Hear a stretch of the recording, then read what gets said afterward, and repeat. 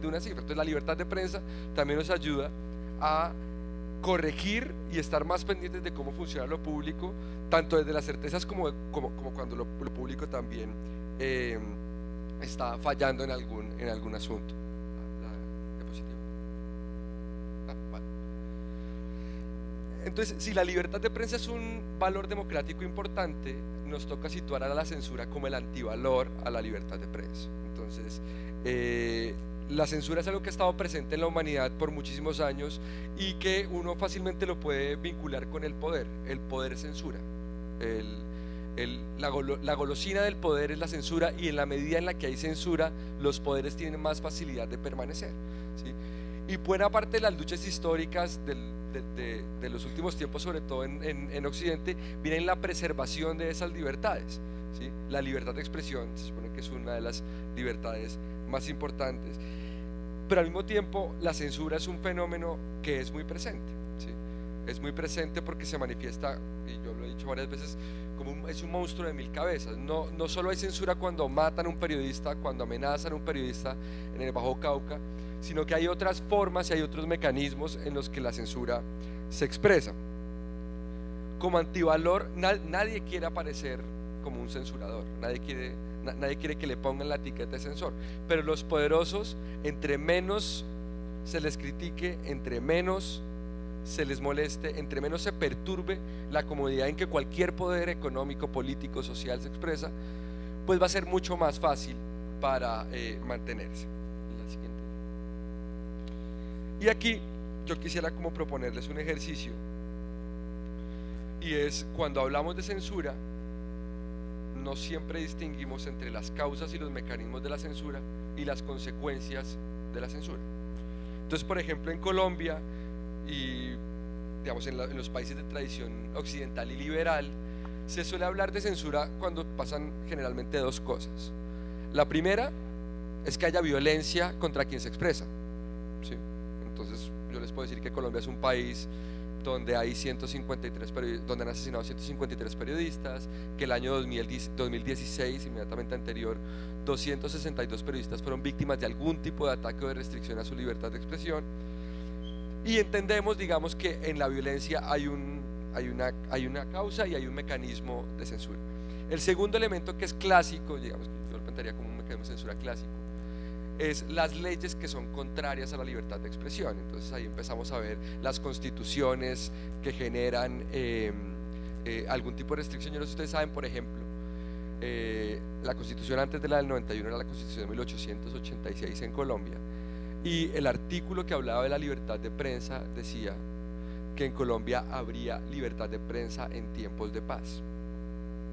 Es decir, en un país que, o sea, en toda la vigencia de la constitución anterior, que fueron más de 100 años, se hablaba de la libertad de prensa siempre y cuando hubiera paz, pero lo, único cierto, o al menos, es que no había paz. Entonces difícilmente podíamos hablar que existiera una libertad de prensa. Entonces aquí quiero plantear, simplemente situar que además de la violencia, hay un segundo, digamos, grupo de causas o mecanismos de censura que son las leyes o las, las, las disposiciones normativas que pueden ser contrarias a la libertad de expresión.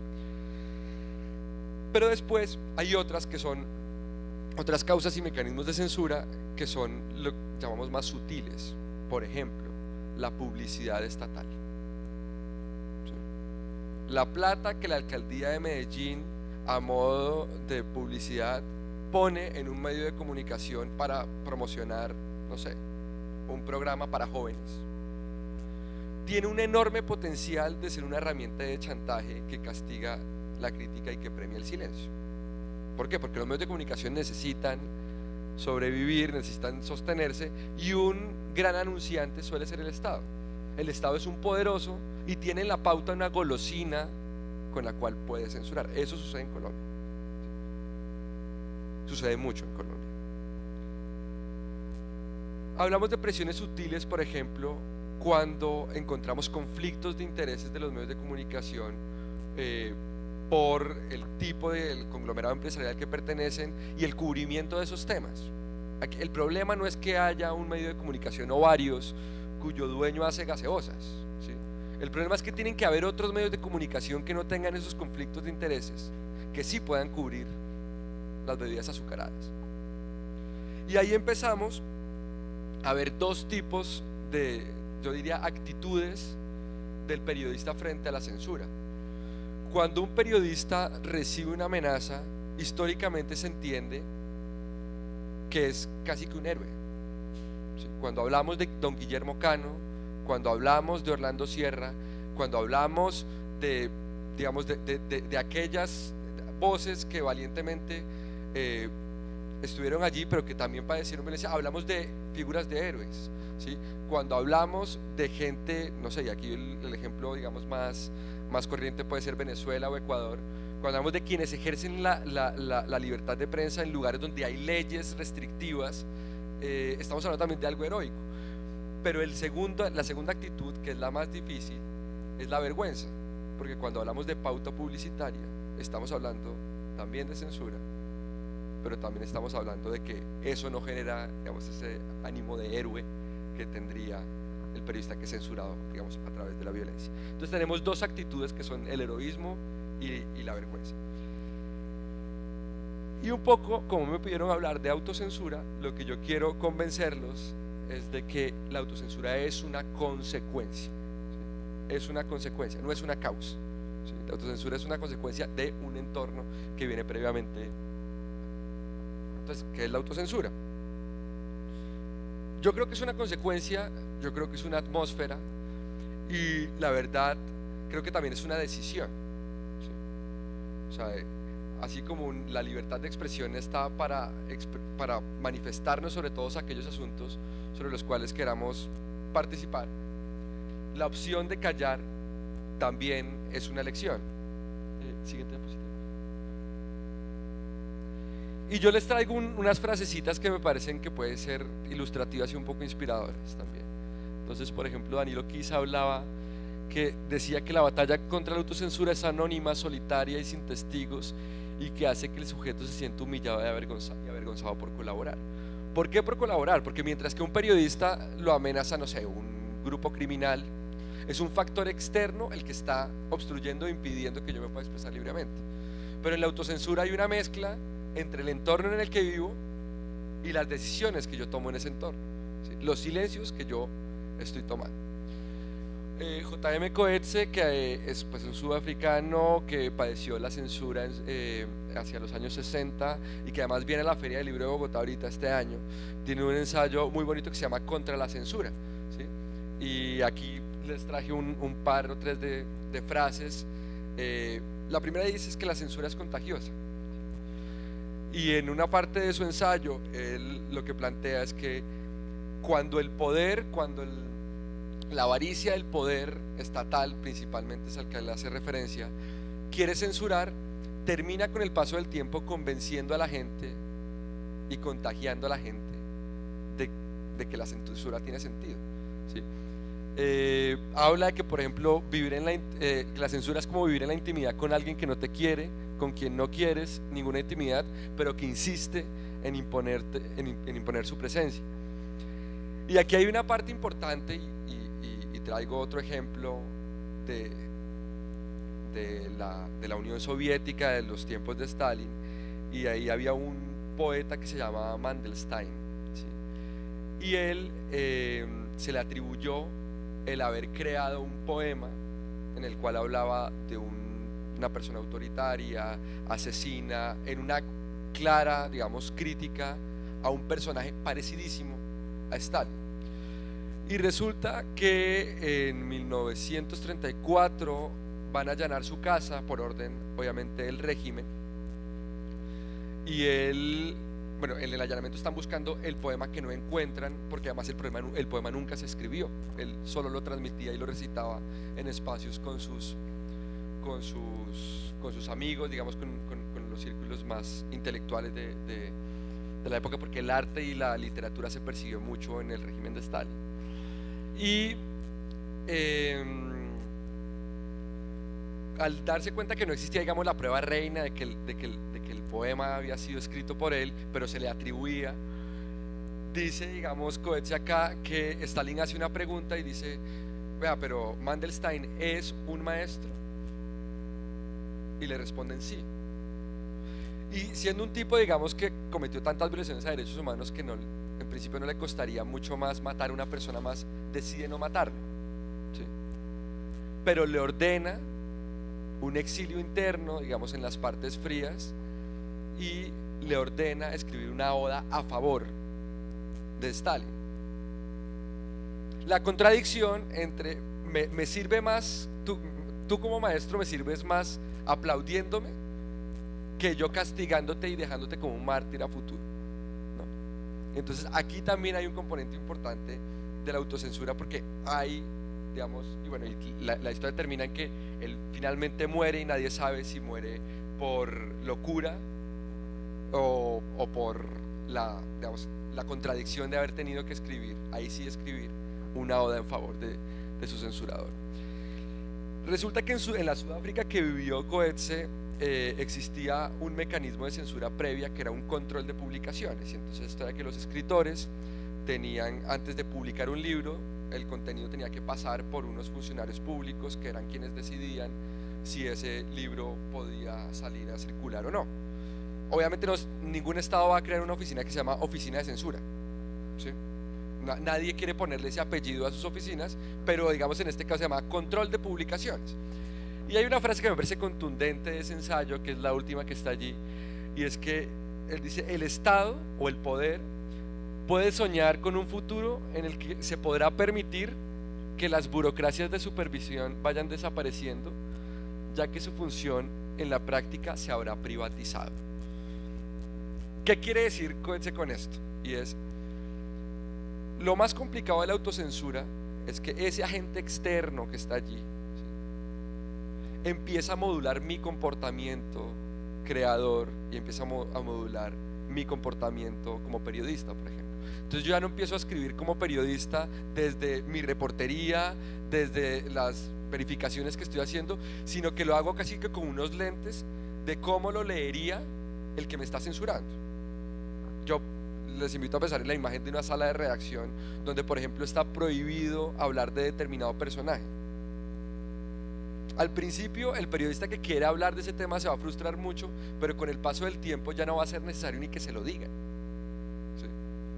porque se habrá naturalizado. Y ahí es donde las consecuencias de la autocensura son muy complicadas. Yo pongo un ejemplo. En la fundación hacemos monitoreo de amenazas y violaciones contra la prensa en Colombia. Y hacia el año 2005-2006 el departamento de Córdoba era un departamento que nos arrojaba a nosotros unas cifras, digamos, protagónicas y altas en comparación con otras regiones del país. Eh, hacia el año 2007-2008 esa cifra se disminuye, digamos, algunos casos, pero en comparación con otras regiones vendría a ser marginal. Y para un político, que los hay, dice, no, pues es que está fantástica la libertad de prensa en, en, Córdoba, porque vea cómo estábamos de amenazas y vea cómo hemos mejorado mucho la situación. Y uno va y lamentablemente se, se, encuentra con la triste realidad y es que pues hay menos amenazas porque se están tocando menos temas y hay un silencio domesticado. Es decir, la, la, la, parte más fuerte de la autocensura es cuando domestican la irreverencia de querer denunciar y eso es perfectamente posible. Yo les invito a ustedes, como audiencias o como personas que se interesan por estos temas, en su vida cotidiana y diaria, de cuántos temas no carecen de información. ¿Cuáles son los temas que a ustedes les gustaría saber y que no encuentren un medio de comunicación que los plantee? Y, mm, digamos, sin, sin, sin generar aquí ninguna polémica, yo creo que muchos de ellos no están disponibles porque hay fenómenos de autocensura.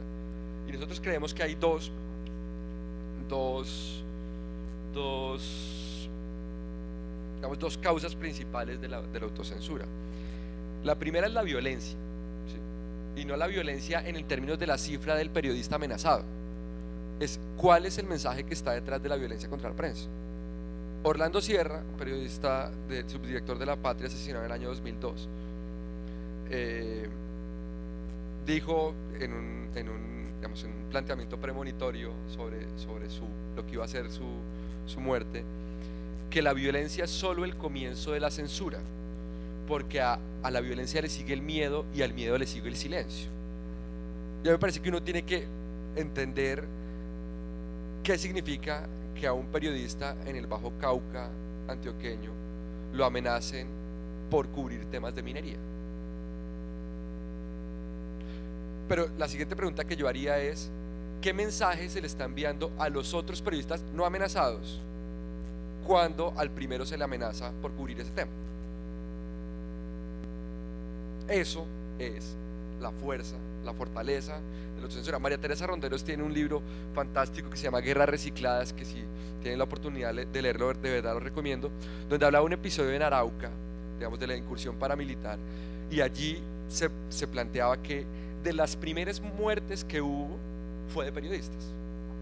Y eso tiene a nivel de estrategia de guerra muchas ventajas.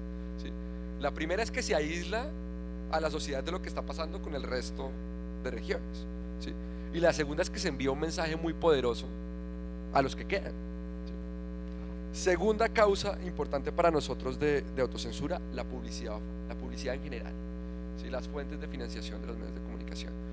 Hay cualquier cantidad de casos, muchos de los cuales ni siquiera nosotros podemos hablar con nombre propio, de periodistas que tienen que pasar por la vergüenza de tener que escoger entre comer o denunciar. Hay una frase muy potente que planteaba Juanita León hace un par de años, directora de La Silla Vacía, y decía, yo cuando voy a región veo que los periodistas saben mucho más de lo que dicen. Cuando los periodistas deberían decir todo lo que saben y que sea de relevancia pública. ¿no? Ahí hay un fuerte escenario de censura. Y el tercero tiene que ver con los conflictos de intereses, como decía. Tercer elemento es, y, de alguna manera se junta con dos cosas que son graves en Colombia. La primera, hay una oferta reducida de medios de comunicación. Y uno lo mira a nivel nacional y dice, no, hay solo dos periódicos de cobertura seminacional y hay dos canales de televisión. Pero vayan a ver cuántos municipios no tienen medios de comunicación en Colombia. O vayan a ver cuántos municipios el único medio de comunicación con información local que llega es de la policía, del armado del ejército. O vayan a ver cuántas regiones no tienen medios de carácter público. Ustedes viven una región absolutamente privilegiada en esos términos. Tuve hace un par de semanas una discusión en Canal 13, ¿sí? Porque el canal público que está pensado para regiones como el Putumayo y Mocoa es Canal 13. Y yo creo que no puede haber una parrilla de programación más bogotana, hipster, juvenil que Canal 13. Entonces, ¿dónde está el medio público que nos va a hablar a nosotros de que hay un riesgo de una tragedia? es que ese no existe. Porque allá en Mocoa lo que sí hay es una radio del ejército.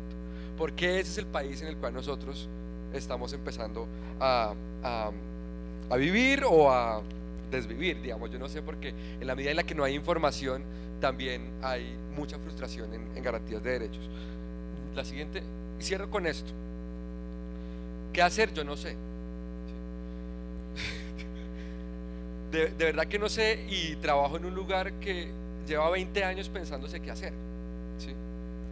Y mientras somos capaces de brindarle protección a un periodista que es amenazado y tratar de resguardar su vida, mientras somos capaces de entablar algunas discusiones con autoridades que pueden, eh, no sé, sugerir leyes que puedan tener alguna vocación de censura y ganar esas batallas, no podemos con la atmósfera de la autocensura.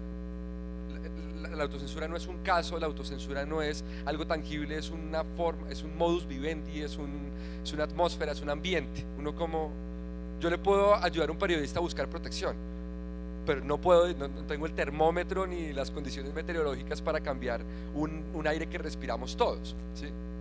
¿Y por qué digo que lo respiramos todos? Porque ahí se incluye a los periodistas. O sea, tendremos o vamos a mejorar en periodistas que retomen confianza en el poder de su palabra con la historia de violencia que, cargan, que cargamos detrás para denunciar libremente sobre todos los asuntos. Tendremos periodistas que serían capaces de arriesgar la sostenibilidad de sus familias, sus ingresos, por nuestra información. No sé si, no, alcancé a estar esta mañana en la, en la charla de, Fidel Cano y no sé si les habrá hablado este, de este episodio, eh, pero de manera simultánea la violencia de, grupos narcotraficantes contra el espectador, también hubo una presión económica muy fuerte, ¿sí? que impacta obviamente la capacidad que tiene un medio de comunicación de, de, trabajar y de hacer denuncias. Eh, los medios de comunicación nunca han sido tan importantes como hoy. Nunca ha sido tan fácil tener un medio de comunicación como hoy o crearlo, pero nunca ha sido tan difícil mantenerlo. o sea, ustedes pueden crear un medio de comunicación hoy si quieren, pero la sostenibilidad de esa idea es algo que está completamente en, cuestión. Las audiencias tienen un rol importante en esto. Y es que si ustedes van, no sé, a Miraflores, Guaviare, donde, insisto, el único medio de comunicación que hay es una radio del ejército, seguramente para el ciudadano de este municipio ni siquiera es una reflexión, ni siquiera hace parte de las discusiones sobre las preocupaciones que no existe un medio de comunicación. La prensa es Caracol RCN, Televisión Nacional, nos interesa saber lo que está pasando allá. Hay una abnegación también de las audiencias en términos de cómo exigimos o cómo provocamos que existan las fuentes de información que necesitamos para tomar decisiones sobre la vida que queremos tener. Porque nos podemos quedar toda la vida un poco hablando de diagnósticos y, de todos estos temas. Y por último, las autoridades, que las autoridades en estos temas o el poder en estos temas es un poco enemigo. Porque en la medida en la que hay menos información o hay más autocensura, el espacio es mucho más cómodo y laxo para quienes nos gobiernan, para quienes toman decisiones sobre el terreno de lo público. Y con esto acabo, no sin antes agradecer pues la paciencia. Muchas gracias.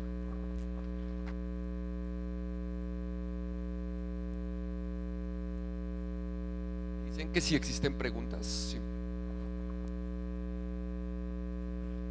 Hola, te pregunto, ¿Es más peligrosa la autocensura total o la autocensura parcial?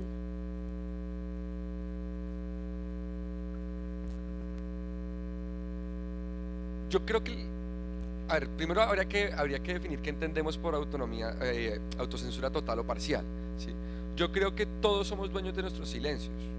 Yo creo que es natural y uno, hay decisiones sobre silenciarse que son legítimas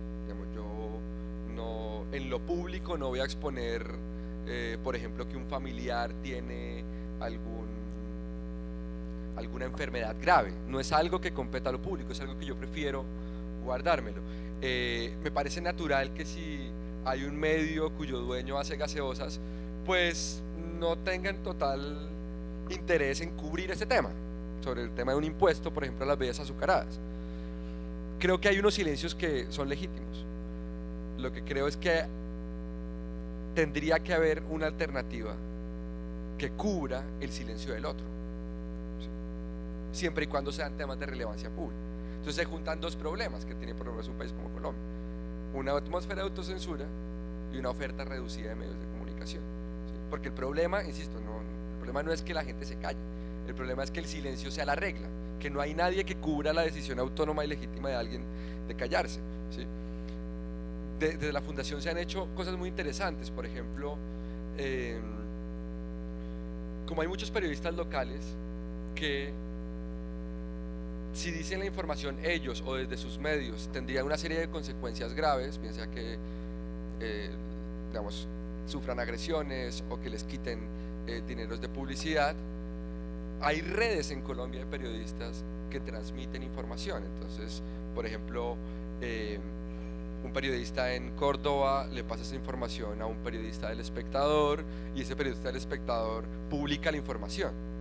Ahí, digamos, la autocensura existe, pero la autocensura tiene una salida y es la, denuncia la pública alguien que no tiene las cadenas o que no tiene, digamos, que no ha tomado las decisiones de, de silenciarse que sí tomó el periodista local. Entonces, yo no creo que la censura en sí, la autocensura en sí mismo sea algo que, debamos aspirar a que desaparezca.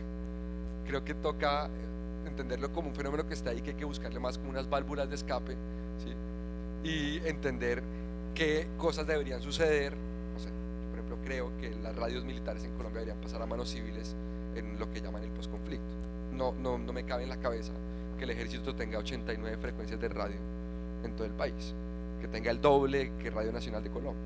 No, no, no me cabe en la cabeza, pero entonces podría ser importante eh, buscar alternativas sin el ánimo de que desaparezca la autocensura, porque me parece más difícil. Eh, muy buenas tardes. Yo creo que te voy a incomodar, ese es como la, el cuento. Hablaste de los actores de la censura, pero no has hablado de la censura de los medios, que es algo todavía mucho más dañino para el periodismo. Y te pongo ejemplos. El colombiano de Medellín ha sacado columnistas porque no van con su línea editorial. Creo que esta semana sacaron siete chicos de porque tampoco se ajustaban a la línea editorial. Semana dejó tirado a un, a un periodista de nuestra ciudad con un informe de un reconocido cirujano. Editaron su artículo, editaron su trabajo de investigación y lo dejaron tirado a la vera del camino. Esa es la dolorosa, esa es la que duele. Desde los medios de comunicación censuramos la misma expresión del periodismo como tal. que está haciendo la FLIP? Porque yo no he visto ningún pronunciamiento de la, de la FLIP frente a este tema, o si no, o si no lo he visto, pues de pronto se me pasó por alto, pero no he visto un solo pronunciamiento de la, de la, de la, de, la agencia, de la, de la federación, para, defender este tipo de comportamientos desde los medios. Porque hay periodistas que, molestan el status quo de sus, de, eh, eh, de sus empresas y esto tiene que mediar en un tema de poder, en un tema de poder de, del periodista frente a una fuente que se le indique y, ha tocado que, los, que los informes los tumba el jefe editor porque eso va en contravía de la filosofía editorial del periódico y además pierde pierde la pauta publicitaria de sea pública o privada. Entonces, quisiera conocer ese pronunciamiento tuyo. Si no lo hice de manera expresa, lo hago ahora. Los medios son un factor de poder.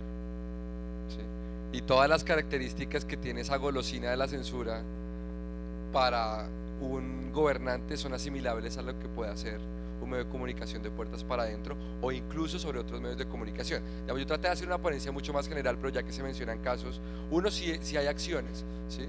de hecho, em, cosas gravísimas como lo que sucedió con el colombiano y el cubrimiento de unos temas de restitución de tierras en el Urabá, donde hay además, digamos, un, un tema de conflicto de intereses entre socios del, eso fue un caso de hace un par de años, socios del colombiano con las tierras que se estaban restituyendo allí.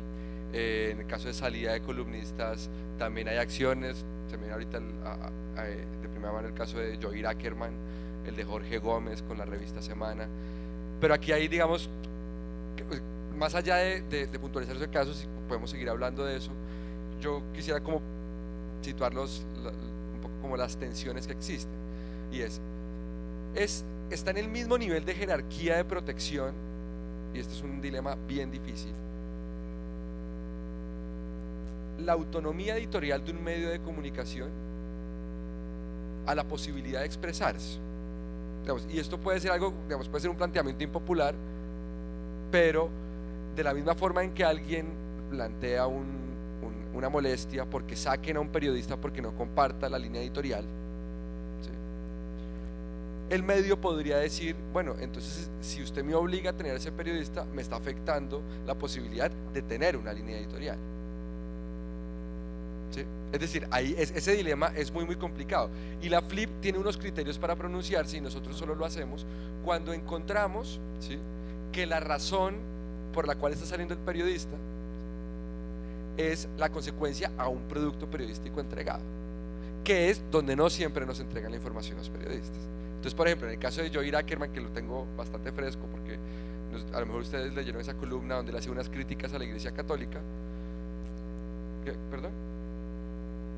Bueno, sí, era, más a Dios, tienes toda la razón. Incluso la columna se publica, con lo cual uno podría discutir si hubo censura o no, por lo menos frente a ese contenido. Censura futura sí hubo porque pues él no siguió escribiendo allí.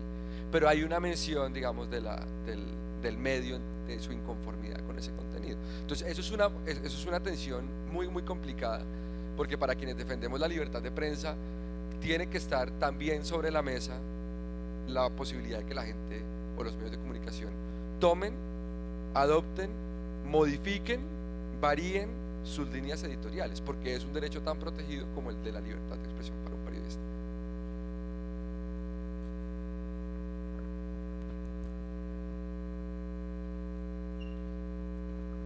Quería preguntar por qué ahora dijiste que el periodista es censurador. Y además de eso, quería aportar que los medios tienen un poder desde los que los dominan hasta cuando el periodista va a publicar. Y eso pasa porque el periodista, digamos, tiene una noticia que quiere presentar y no lo dejan. No solamente las líneas editoriales, el mismo medio no lo deja. Entonces, eso es una parte importante que me gustaría saber qué piensas sobre eso. Sobre, el, el, tema, toda la cadena de producción de información, digamos, desde que un periodista recibe una pista hasta que la noticia es publicada, es susceptible de un actor de censura. Incluso después de publicada puede haber consecuencias. Es decir, eh, casos dificilísimos, por ejemplo, es cuando empiezan a amedrentar las fuentes. Entonces, por ejemplo, nosotros, cuando sucedió lo de un par de meses antes de que se, montara el escándalo de Obrecht, ya sabíamos que en algunas regiones del sur del Cesar estaban intimidando a fuentes de periodistas que estaban investigando sobre ese tema. Entonces, por ejemplo, ese es un... Eh, ahora, eh, me parece que es un poco distinto al, al fenómeno de la autocensura. Porque yo, si yo soy un periodista y hablo de autocensura sobre un tema en particular cuando yo trabajo, es porque yo, se plantea ahorita en una de las frases, acepté convivir con ese escenario, que es distinto a una decisión externa. Entonces, mucha gente podrá quejarse de que determinado medio de comunicación no hable sobre las tasas de interés, porque su dueño es un banquero. Y eh, seguramente hay un periodista en ese medio de comunicación que tiene una gran noticia sobre por qué las tasas de interés subieron o bajaron este mes. Y seguramente se va a estrellar con la frustración de haber hecho el reportaje y que se lo cuelguen, que en la jerga periodística colgar no es que lo suban a internet, sino que no lo publican, y que se lo cuelguen y ver cómo un esfuerzo, digamos, de denuncia pública, de vocación democrática, de que todos ejerzamos nuestros derechos, se ve frustrado. Eso, en el momento en el que se acepta, se naturaliza. Entonces ya hay muchos periodistas que trabajan en medios cuyo dueño es un banquero que sabe que, pues, que simplemente no le va a dedicar un, minuto de su tiempo a hablar sobre las tasas de interés. Entonces, es frustrante.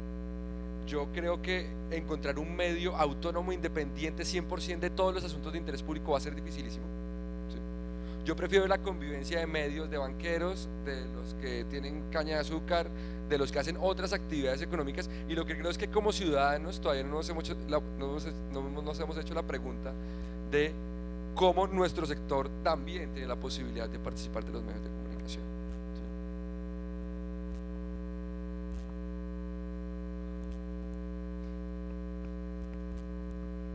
Pero además de eso, tú nos decías que el periodista es censurador. ¿En qué él puede censurar? Me refiero, listo, al periodista lo censura el medio, pero ¿por qué el periodista es censurador? Eso es lo que no entiendo. En el momento en que tú nos decías que eh, los medios eh, había una autocensura, listo. Yo, por ejemplo, soy una periodista de RCN, yo sé que no puedo publicar a alguien que va a perjudicar porque es del poder, pero entonces, ¿yo por qué va a ser censuradora? Eso es lo que te estoy preguntando. Porque, porque los medios y los periodistas son factores de poder. Y el poder, al poder le encanta censurar. El poder a todo nivel, el poder de una fe religiosa, el poder de una universidad entonces ustedes van a la Universidad de Antioquia, el comportamiento de las personas es distinto a si van a EAFIT, porque hay unos poderes simbólicos que están allí que modulan el comportamiento y la libertad de expresión. Entonces, por ejemplo, un periodista es, es, es, un periodista, por ejemplo, se caracteriza por tener una muy buena fuente en la Secretaría de Hacienda. Y, empieza a tener una relación fuente periodista con el secretario de Hacienda. Y de repente encuentra un, asunto que puede perjudicar a este personaje. Y hay periodistas, muchos periodistas, que prefieren censurar esa denuncia por proteger una fuente. Eso es legítimo, pero también es censurar. Porque lo que nos interesa como ciudadanos de Medellín es poder saber si la Secretaría de Hacienda se está manejando bien o no. Me tiene sin cuidado si el periodista es amigo o no, es leal o no a un funcionario público. Y si a esto le metes además el ingrediente de la publicidad oficial, pues el cóctel y el potencial de censura, yo, por ejemplo, uno, uno ve lo que está pasando en Venezuela, lo que pasa en otros países, en Cuba, por ejemplo, y uno, así, país de censura, checklist, ya. Sin advertir que nosotros en Colombia tenemos unas condiciones distintas, pero también unos factores de, de censura vigentes, completamente vigentes. En todo el país el poder que tiene el Estado para modular el debate público a través de la pauta es enorme. Es enorme. Hola. Eh, mi pregunta va encaminada a lo que usted menciona del factor de poder. Yo tenía un profesor de constitucional que decía que en la actualidad los medios de comunicación son un factor real de poder, es decir, ustedes tienen como la posibilidad de modificar la realidad política de los países.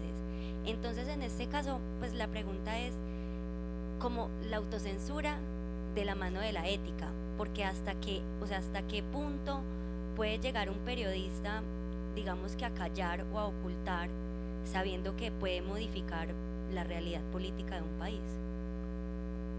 Completamente de acuerdo. Yo, yo no sé qué hacer frente a la autocensura, pero tú tocas dos temas que me parecen claves. ¿sí? O por lo menos dos conceptos que deberían estar presentes en la discusión. Uno es la transparencia. O sea, la información está disponible. Uno puede saber hoy en día quiénes son los dueños de los medios de comunicación. Pero en el común de la gente no es algo que esté presente. Entonces, si el, medio que el dueño es un banquero, no habla de las tasas de interés, pero yo sé que es banquero, pues ya entiendo por qué no está hablando de las tasas de interés. Punto. Y el segundo concepto que tú también tocas es el de la ética. La ética, al fin y al cabo, es los compromisos que los medios de comunicación quieren ofrecernos a nosotros como audiencias. Yo me comprometo con decirle la verdad o lo que confirme con respecto a los hechos que pasan. Yo no voy a hacer propaganda de ningún funcionario público.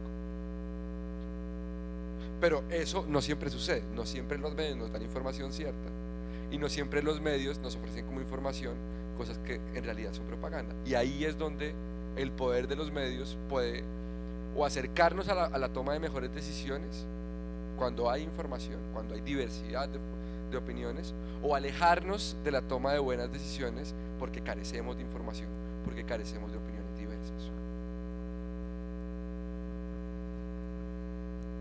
Eh, hablando de la censura y la autocensura, ¿puede ser en algún momento la censura ventajosa para la labor, la labor periodística? La censura ventajosa para la labor periodística. Yo, yo es que tengo, Eh, sí. Medio lo explico, hablabas de, del heroísmo periodístico y pues pienso un poquito en cuando hay una censura, por ejemplo, de un tema y hay una disrupción, se crean eh, efectos de choque sociales. Pronto la censura puede ser ventajosa en esa medida. Pues hablabas en un momento del heroísmo y yo pienso también de pronto en la creatividad que se puede tener a la hora de producir el contenido de manera que no caiga en la censura, pero se, sí se haga la denuncia. Sí, eh, yo creo que la censura siempre va a ser indeseable, digamos, yo no sé si es por mi trabajo por, por mis convicciones, jamás comulgaré con la censura como algo des- digamos, que, que pueda generar una ventaja, solo veo desventajas cuando veo censura. Ahora, mm, la pregunta me hace acordar de una columna que hizo Guillermo Cano, y hago aquí un pequeño paréntesis histórico, Eh, después del Bogotazo, eh, se instaló, digamos, un, desde el gobierno un régimen de censura en Colombia, ¿sí? que implicó que los medios de comunicación que tampoco estaban muy aislados de- del conflicto liberal conservador eh, fueran víctimas no solo de agresiones, sino de censura de prensa. Censura de prensa al sentido de que, por ejemplo, el espectador tenía tres ediciones en el día, en la práctica. La que hacían los reporteros para el director, la que eh, leía el ejército a través de la radio y la que finalmente salía al público. Eso, digamos, un poco para- Y Guillermo Cano en una columna como de finales de los 70 dice, tenemos que agradecerle mucho a la censura, porque gracias a que la vivimos, sabemos lo importante que es la libertad y lo mucho que los tiranos y los autoritarios no, no recuerdo exactamente, pero era un, era un mensaje de gratitud a la censura. Yo creo que más que la- las bondades de la censura, yo creo que una sociedad tiene que tener muy presente que la censura es algo que puede afectar, digamos, las consecuencias de la censura.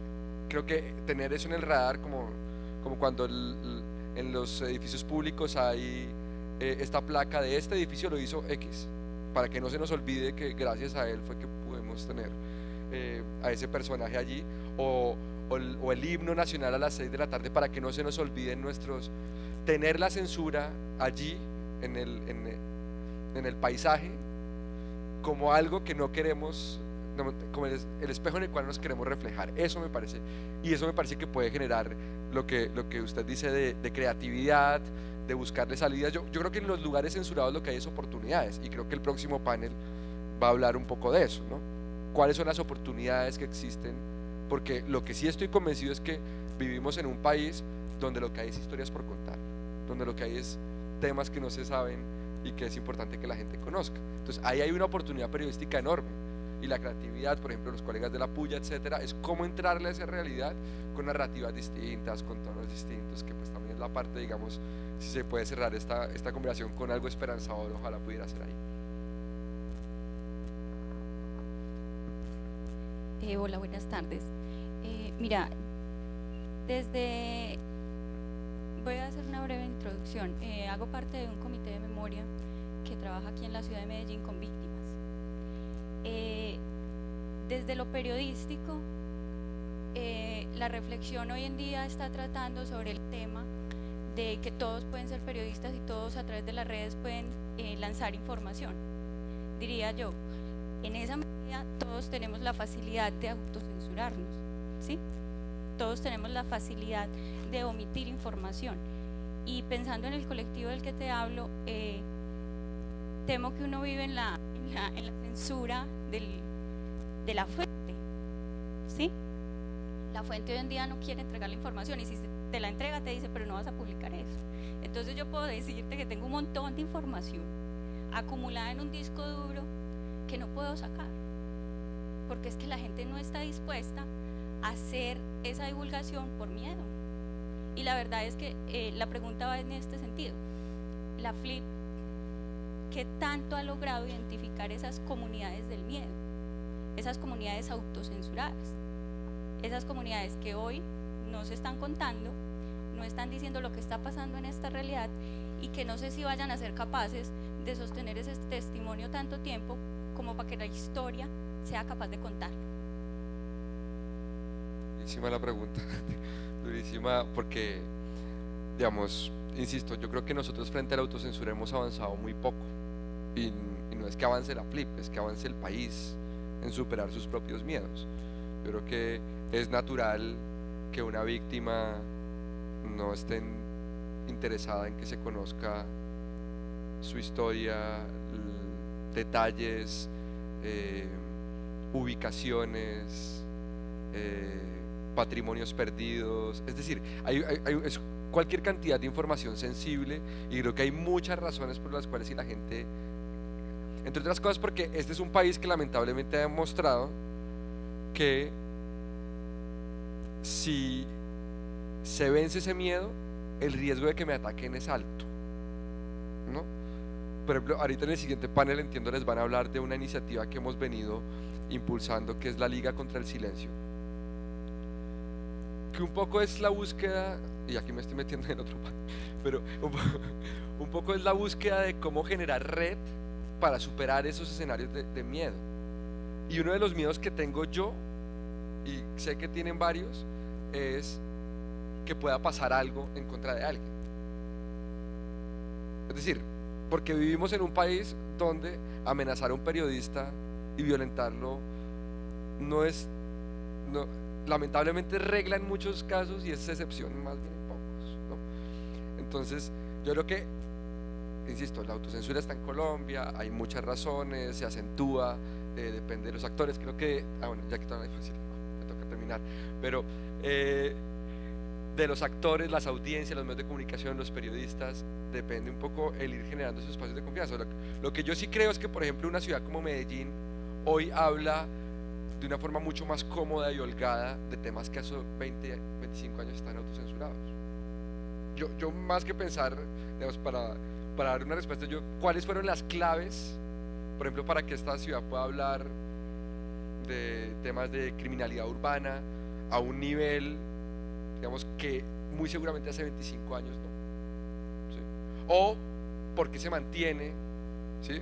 ¿O será que hablamos ex post? Entonces somos capaces de hablar de lo que hace, pasa hace 25 años, pero tenemos autocensuras actuales. Es decir, ahí hay cualquier cantidad de, de, aristas por mirar. Yo creo que es un problema muy, muy difícil y creo que también es legítimo que la gente tenga la opción de decir que no entrega información. Muchas gracias de verdad y...